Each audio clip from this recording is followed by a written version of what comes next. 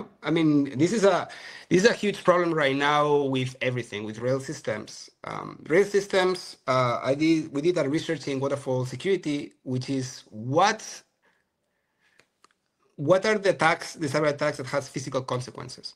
So mm-hmm. they we, we tallied how many cyber attacks ended up into a physical consequence. So, for example, a train not working or a blackout, right?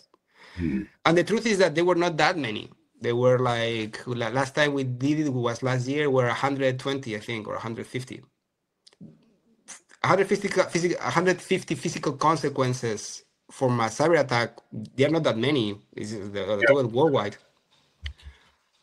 However, they are a hundred times more than like five years ago. Five years ago, they were like four. Yeah. So four years ago, we have like five attacks with physical consequences.